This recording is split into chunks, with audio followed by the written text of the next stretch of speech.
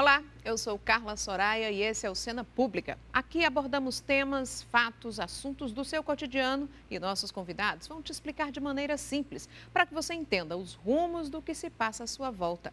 Participe, se conecte conosco através das redes sociais.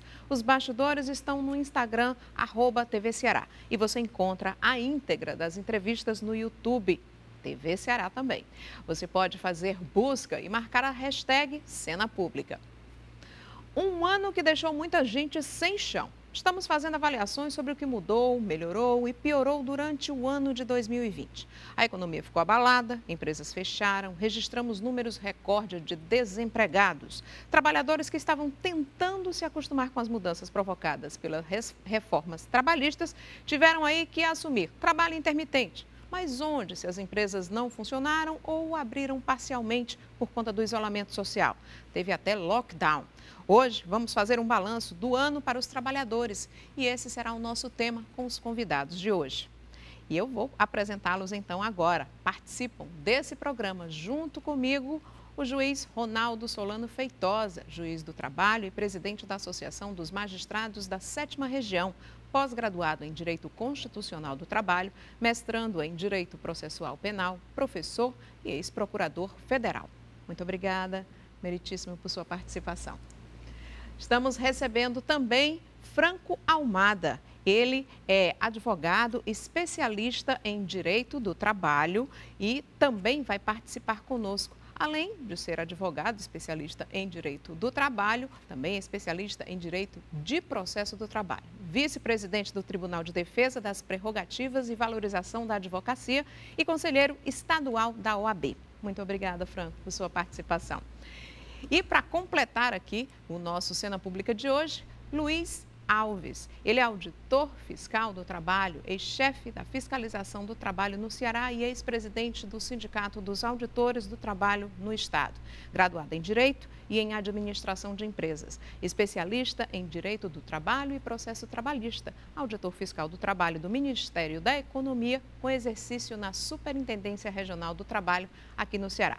Também é professor dos cursos de graduação e pós-graduação em Direito, Contábeis e Gestão de RH. Então, um time de peso para discutir e a quem eu dou as minhas boas-vindas. Luiz, muito obrigada por sua participação.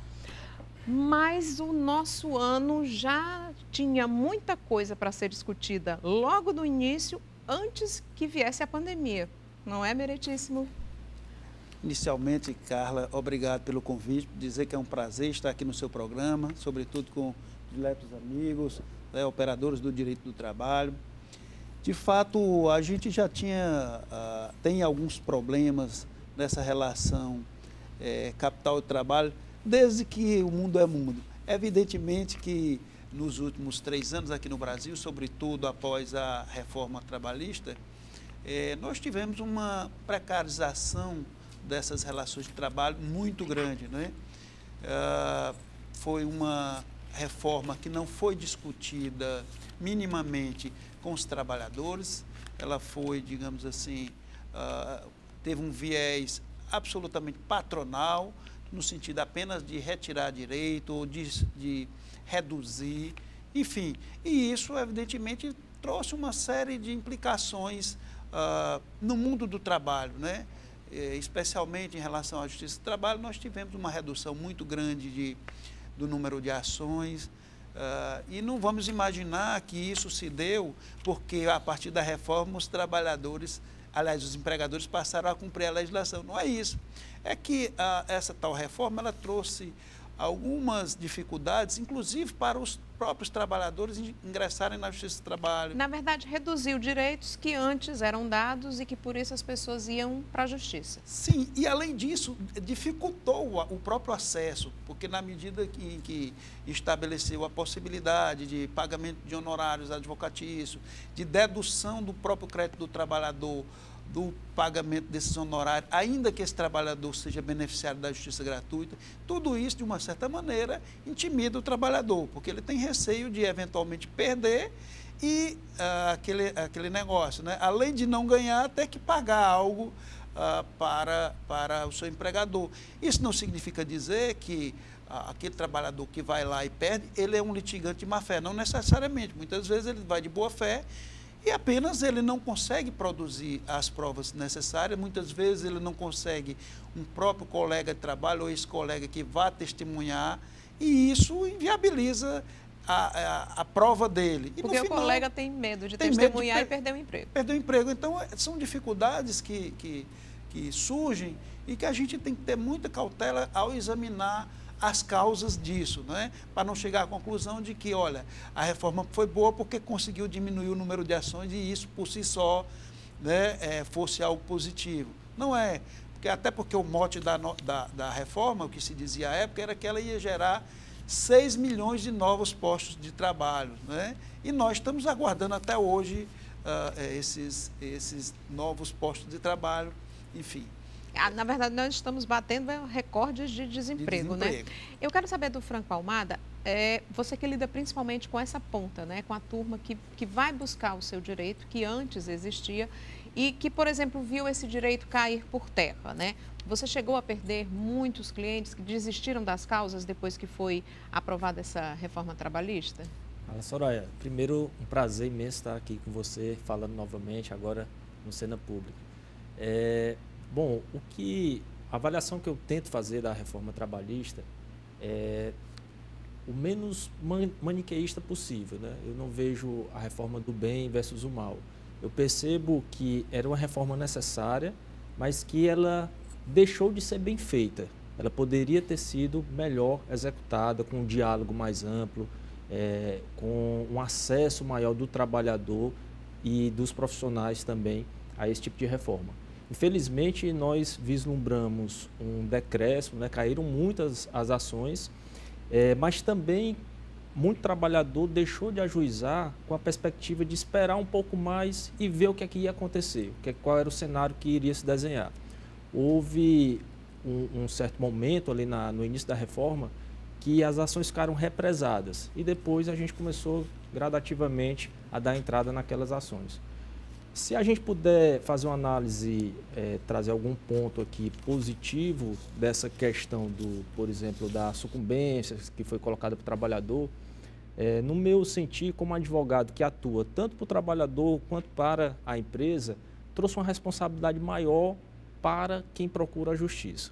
Antigamente, é, o trabalhador e requeria um direito ali sem muita preocupação com a prova, porque se perdesse, não iria perder nada financeiramente. O advogado da mesma forma e o advogado não fazia errado, era a regra do jogo naquele momento. E agora há uma preocupação maior com o que se pode provar, é, acaba que os pedidos estão ficando mais enxutos é, e se, se tirou, por assim dizer, muita gordura das reclamações trabalhistas. Por um lado, essa questão da responsabilidade, ela é bem-vinda, sim, no meu ponto de vista, é, nessa reforma.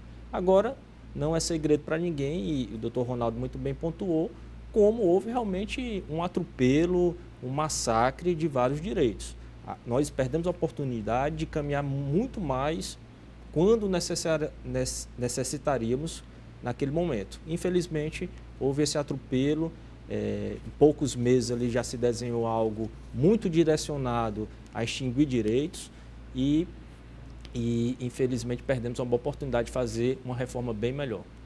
Luiz Alves, e na ponta da fiscalização, como foi para você que trabalha no dia a dia lá, é, recebendo muitas vezes denúncias e indo a, em busca da comprovação em loco. Isso, primeiro agradecer o convite, né, em nome da Auditoria do Trabalho, obrigado aí pela a, a deferência e também pela convidar a auditoria para participar desse programa. Bom, na verdade é assim, corroborando um pouco o que o Dr. Ronaldo já falou, a gente entende que essa reforma trabalhista ela veio sim tirar direitos e na área da fiscalização entendo que houve uma diminuição e uma dificuldade da fiscalização de jornada. Praticamente ficou inviável fiscalizar a jornada. A gente não tem mais como. Foi extinto o quadro de horário. A questão do ponto aumentou agora para 20 trabalhadores. Então, hoje nós temos uma dificuldade enorme de fiscalização de jornada. Isso eu estou colocando como um dos pontos mais complicados. Né? Gente... Luiz, mas deixa eu só Sim. te interromper. Não seria mais fácil, porque hoje não é tudo digitalizado, sim, não é até sim. mais fácil você comprar uma é. maquininha do que receber aquele ponto, que é. aí já vai tudo direto, quem sabe até para... A questão é a, a, confiabilidade desses pontos, né? de você fazer qualquer tipo de ponto. É tanto que para isso precisa uma negociação com o sindicato. A empresa, por exemplo, não pode estabelecer o ponto que ela quer um aplicativo celular para bater o ponto, ele vai precisar negociar com o sindicato, porque só tem três modelos. Um bem defasado, que é aquele da manivela, aquele que você puxa o cartão, uhum. né, para bater. Que aquele perfura, dali, né? Aquele dali é, praticamente está extinto, né?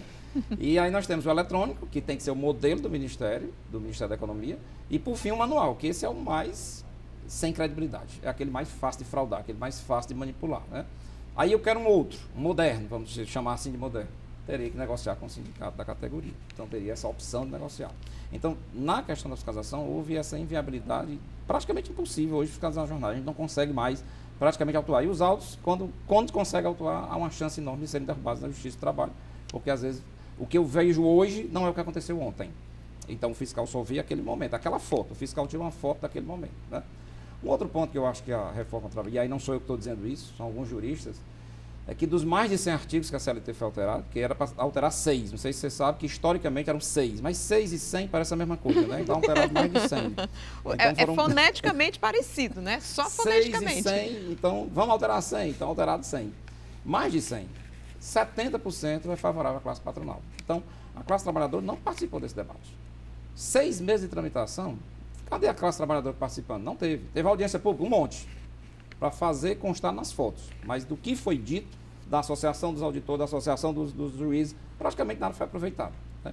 Então, assim, nós tivemos muitos problemas com a reforma, ainda estamos tendo problema, a gente não está tendo essa facilidade. Na fiscalização que a gente percebeu, houve uma, uma diminuição drástica na estrutura, não que a reforma tenha trazido isso, claro, mas houve uma diminuição drástica na, na, na, estrutura da fiscalização ao longo dos anos, isso aí já vem de longo dos anos que vem é, piorando essa situação da fiscalização, em termos de número de auditores né, no Brasil todo, estrutura mesmo, e depois com a extinção do Ministério do Trabalho, aí foi que deu uma piorada, porque aí você tem uma queda na estrutura, uma queda de recursos, então há uma dificuldade muito grande. Quantos a... são os fiscais, os auditores aqui no estado do Ceará? Hoje no Ceará não temos nem 100, né? tem pouco mais, em torno de uns 92 a 93. Na rua, na rua tem uns 70. Para? Para o estado do Ceará.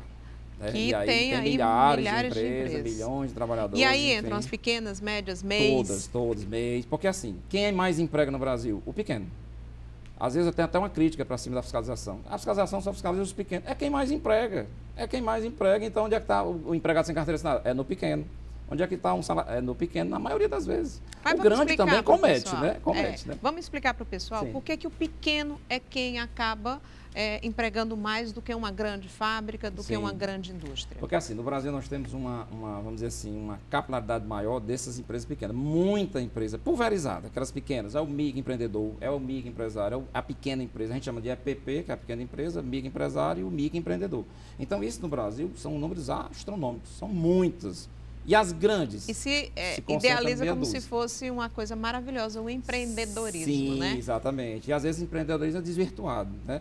Aí nós temos o quê? Também a fraude. Uma coisa que aumentou com a reforma trabalhista. A mudança da terceirização, que era esse outro ponto que eu ia falar, da terceirização, se possível. A terceirização se disseminou de poder fazer tudo. Aí eu posso terceirizar tudo, inclusive a atividade fim. Ok, o Supremo disse isso, ok, o Supremo disse, a reforma disse, tudo beleza. Então o que é que se entendeu? Que eu posso transformar meu empregado em, um CNPJ. É a chamada pejotização. É outra coisa que a fiscalização está debatendo demais. A gente está encontrando isso de forma muito fácil. Então você não é mais a Carla Soraya empregada, você é agora uma CNPJ Carla Eu sou um número. Você é um número CNPJ que vai prestar serviço para o empregador. Isso continua sendo fraude, para nosso entendimento da fiscalização na maioria das vezes, isso é uma fraude. Isso o Supremo não autorizou. Como eu, eu falei aqui na abertura né, da, do programa, a gente procura explicar de forma simples para as pessoas né, entenderem. É como se eu tivesse uma padaria Sim. e, ao invés de contratar um padeiro Sim. e pagasse a carteira dele, assinasse a carteira, pagasse aquele salário com FGTS, férias e todos os direitos, eu contratasse o padeiro para prestar serviço para mim, mas e... ele não vai ter direito a CNPJ, e... aliás, a FGTS, férias, férias SC, é, auxílio doença, né? isso. né? Então, isso é o que é chamado de pejotização, correto? É um novo verbo, né? Pejotizar é transformar o empregado numa pessoa jurídica. Isso está acontecendo? Tá. Aí o que é que você encontra nas empresas às vezes? De que a reforma autorizou isso. Por quê? Porque diz que pode terceirizar a atividade fim. O que é atividade fim? Era aquela grande discussão do TST. O que é que é fim, o que é que é meio? A gente não sabia. Então, ok, o Supremo acabou com isso, a reforma acabou com isso. Não tem mais fim, não tem mais meio. Mas não autorizou PJizar. E isso, infelizmente, está acontecendo. Agora eu vou para a justiça, meritíssimo juiz Ronaldo Feitosa. Essa questão se mistura também um pouco, vou buscar aqui uma, uma coisa que o, o Luiz Alves falou também, do intermitente, que eu também abri o programa falando do trabalho intermitente. É aquele que também não tem direito nenhum, né? Ele está ali para ganhar por hora e se vira e se ficar doente. A, se a rigor, a rigor, ele tem os direitos. Só que o, que o grande problema desse trabalho intermitente, eles, eu até entendo que ele seria muito importante para determinadas atividades, que tem algumas atividades que ela de fato, ela pode casar bem esse trabalho intermitente. Alguém que tem, por exemplo, um buffet que não funciona todos os dias e ele ele, ele às vezes precisa, digamos assim, vai fazer uma festa, precisa contratar mais pessoas e em vez na prática atual, como antigamente antes da reforma, o que, é que ele fazia? Chamava alguém bico, né? como um bico, como fosse um autônomo. Só que o grande problema é que, eh, da maneira que foi feito o contrato de trabalho eh, intermitente, ele abriu para toda e qualquer possibilidade. Hoje nós temos uma situação que é 22% desses contratos intermitentes são de trabalhadores que nunca foram chamados para trabalhar um dia. Então, são pessoas que elas são, na estatística, ela aparece como empregado, tá? nas estatísticas do governo, porque de fato ela está empregada, só que na prática. Ela não tem vínculo. Ela, ela, ela tem até o tem vínculo, um vínculo, está formalizado, mas ela não é chamada para trabalhar nenhum dia e, portanto, se não trabalha, não recebe nada. E ela não pode ir para outro local de trabalho. Não, até, até poderia, mas o problema é que nós vivemos num país que esse era o grande discurso. Olha, o trabalho intermitente seria importante porque eu poderia ter vários locais para trabalhar. Gente, isso funciona bem onde você não tem, digamos assim, você tem escassez de, de mão de obra. No, no, caso do Brasil, nós temos é excesso é. de mão de obra. Então, as pessoas não têm possibilidade de ter vários empregos. Na verdade, a maioria dos trabalhadores tem é, subempregos. Uhum. Né? Então, nós temos situações, por exemplo, de trabalhadores que estão lá como empregado, passam meses e meses e nunca foram chamados para trabalhar um determinado dia. E, é, às vezes, é dispensado e ele vai lá no trabalho atrás dos direitos dele, questionar, porque ele nunca foi sequer. É, então, é Mas deixa eu entender, é porque não estou conseguindo. É, é, eu acho que essa lei ainda não entrou direito na minha cabeça. Como é que a pessoa está vinculada, né? Tem algum tipo de vínculo com uma empresa, não é chamado para trabalhar e como é que fica o salário? Não recebe, só recebe e... se ele for chamado. Então por que, que ela está ali? Tem uma, tem uma explicação fácil. Eles ah. copiaram o modelo da Europa dos Estados Unidos, só a parte ruim para o Brasil. Porque se você for olhar os outros países, eles ganham o mínimo no dia que não é chamado, naquele Sim. mês que não é chamado. Porque o trabalhador tem que pagar as contas. Uhum, ele não tem que pagar as claro. contas. Então que, não foi ele chamado. Tem que comer, tem que se alimentar. 20% do salário mínimo vai ser pago. Aqui no Brasil não tem isso. Se você não é chamado, você vai passar meses e meses e meses sem receber. Zero. zero. Salário zero. zero. E você é a carteira assinada. É como o doutor Ronaldo disse, é meio que querer imprimir uma cultura é, a fórceps, né? Isso. Pegar e pegar um, um trabalhador partindo do pressuposto que ele vai ter muito trabalho para escolher ali, ele não vai é. saber o que fazer naquele final de semana. Se ele trabalha no restaurante A, no B ou no C, e aí é, ele vai recusar dois convites, vai aceitar só um, é. porque ele vai aceitar o que vai pagar mais a ele, né? Então ele vai ter, foi vendido dessa forma, né? Ele vai ter a possibilidade de aceitar o que lhe pagar mais. Mas no final dos, do, das contas, às vezes nem um, um dos três chama e aí fica sem então, garantia alguma. Então, como é que cruel, fica viu? esse trabalhador, Pronto, então? Tem uma situação cruel ainda nessa, dessa, dessa, desse, o aspecto a questão previdenciária. É terrível para esse trabalhador. Não conta. Desprotegido. Não, recolhe, não conta aquele mês. Então, ele não se, vai se aposentar não. Não, nem aposentadoria nem auxílios. Não não vai, se ficar doente ou a, se for no caso uma mulher engravidar, não vai receber se não tiver cumprida a licença maternidade. Não. Se não tiver cumprida a carência, não. então ele está tá num limbo. Isso, é isso que a gente diz. Esse contrato, ele poderia existir, ele Sim. pode ser importante. Agora, você tem que ter digamos assim, uma proteção mínima de remuneração, uma proteção mínima no aspecto previdenciário, uma proteção mínima no aspecto de, de, de, uma remuneração, ainda que você não seja acionado nenhuma vez por mês, você vai ser, vai ser garantido uma remuneração X. Mas né? qual é, por exemplo, por que, que uma empresa contrataria, me contrataria para que eu ficasse o mês inteiro sem trabalhar e sem receber? E... Dependendo da atividade, pode ser que isso seja vantajoso. Vamos lá, buffet, eventos, o doutor Ronaldo já falou, é. buffet, eventos, é possível, né? Você não tem eventos todo dia, você não tem festa todo dia. Você pode contratar um intermitente. E Agora, é bom todo mundo ser intermitente? Já não é tão bom. Já não é tão bom porque o intermitente ele não vai vestir a camisa da empresa. O que a gente sempre fala é que, e a Justiça do Trabalho impede muito isso, ou tenta impedir muito isso, né? colocando filtros lá quando você vai acessar um processo, é, a, a, consulta completa ela só é acessível pros, para os advogados, né? mas infelizmente a gente ainda escuta falar nessa tal dessa lista e, e alguns trabalhadores deixam de demandar com medo é, de serem inseridos em algo nesse sentido. Quanto menor o mercado da pessoa, mais ela teme essa, essa qualificação nessa lista temerosa aí. É mais ou menos como o que acontece com o preço da gasolina. A gente sabe que todo mundo vende a gasolina do mesmo preço, mas não é um cartel, né? Não é um cartel. Não é um cartel. É, é mais ou menos por aí. É. E, e, com relação, aí eu vou para a questão desses é, benefícios, dessas, é, digamos, proteções ao, ao trabalhador, que é o FGTS, o auxílio maternidade para as mulheres, né? Nada disso é, é garantido para quem é trabalhador intermitente? É garantido se ele trabalhar. Naquele mês ele Ele tiver. tem que trabalhar quanto tempo? Não, aí pode ser um dia.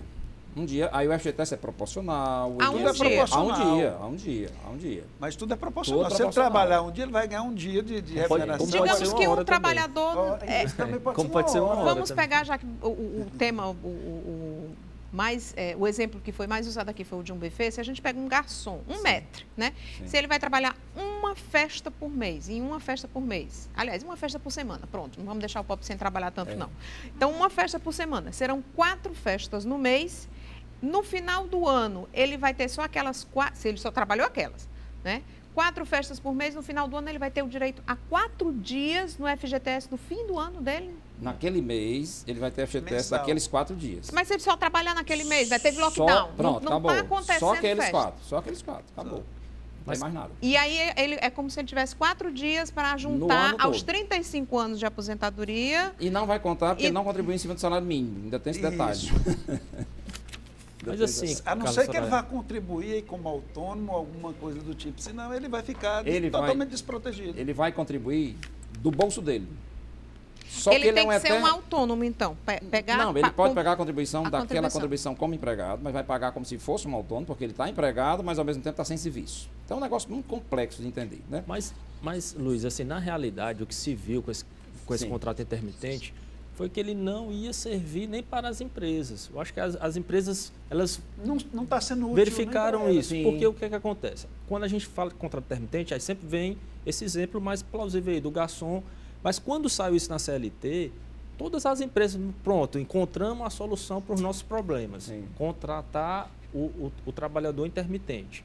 Mas quando aquele, aquela pessoa de uma fábrica, aquele pessoa que pessoa precisa de um vendedor de uma loja, começou a vislumbrar isso na prática, viu que não seria possível. Como é que eu posso contratar um vendedor intermitente se a garantia dele amanhecer naquele dia da minha loja, na terça ou na quarta-feira na minha loja? Então, assim, é, caiu em desuso, vem caindo em desuso, e até os contratos que foram é, é, formalizados como, como intermitente, como o doutor é, Ronaldo ressaltou, também não, não, não há prática de trabalho. Então, essa é uma, é uma da, dos artigos da lei que realmente vai cair, cada vez mais vem caindo em desuso. É bom que a gente faça também uma diferenciação entre é, trabalho intermitente e o trabalho temporário, né? Você falou Sim, essa história aí do fim do ano, é porque eu lembrei que nessa Sim. época de fim de ano, quando se tinha um ano sem pandemia, lojas de sapato, lojas de tecido, lojas de, de roupas, né, contratavam vendedores Sim. para um período de temporário, né, que poderiam até, dependendo do desempenho dele no final do ano, ficarem com a carteira assinada. Né? É uma coisa bem diferente. É diferente. diferente. Totalmente diferente. Esses têm o, o, Esse trabalho normal, quem vai assinar a carteira é a empresa de trabalho temporário, não é a própria empresa tomadora do serviço. O mês todo está garantido, previdência está garantido, então tudo tranquilo. Esse é o temporário que já existe desde a década de 70, né? não houve nenhuma alteração. Uhum. É, Houve algumas tem... alterações de é. aperfeiçoamento, é, né? É, mas exato. a lógica dela sempre foi. Sempre foi a mesma. É. Mas é, esse aí vai ter o FGTS no finalzinho Sim. do ano, vai ter a, a... O contrato desse, ele tem que ser no máximo de 180 dias e pode ter uma prorrogação de 90 dias se isso. subsistir aqueles motivos, isso, né? Isso. Porque geralmente ele é utilizado para duas situações, é substituição de pessoal é, é, do quadro permanente, por exemplo, a empresa surgiu lá várias empregadas que ficaram grávidas ao mesmo tempo. Isso. Tem aí, isso às vezes nas empresas, tem, né? Tem. Várias mulheres. Então eu preciso e eu não preciso do contrato. Eu não posso, eh, digamos assim, a minha necessidade não é uma necessidade de longo prazo. É só enquanto essas pessoas estarão. Então eu posso fazer isso. Ou um aumento da demanda, né? Que é o que ocorre muito final no final do ano, né? E aí você você contrata, lembrando que quem é o efetivo é, empregador não é aquela empresa que está uh, em que ele está prestando serviço, não. O empregador é, essa, é outra empresa. Tá? Aquele que presta serviço, ele contrata uma empresa e é esta que isso. A terceirização. É a terceirizada. Às vezes é o pessoal confunde isso com, a, com o contrato por, de experiência, né? É, que pode ser de 90 dias até 90 dias, mas que quem contrata é a própria empresa. Isso. Aí se, isso. se, a pessoa desenvolver um bom trabalho, ela até continua trabalhando. É outra, é. é outra situação. Eu vou ter que fazer um rápido intervalo, mas daqui a pouquinho, passa rápido né, o tempo, daqui a pouquinho a gente volta falando sobre 2020. O home office, as férias, a suspensão da jornada de trabalho, a suspensão do contrato, como é que isso também vai impactar na vida de trabalhadores e de empresas. A gente volta já já e você pode acompanhar as nossas transmissões nas redes sociais, os bastidores no Instagram, arroba TV Ceará, e a íntegra das entrevistas no YouTube, também da TV Ceará. Faça buscas, marque a nossa hashtag Cena Pública. Até já!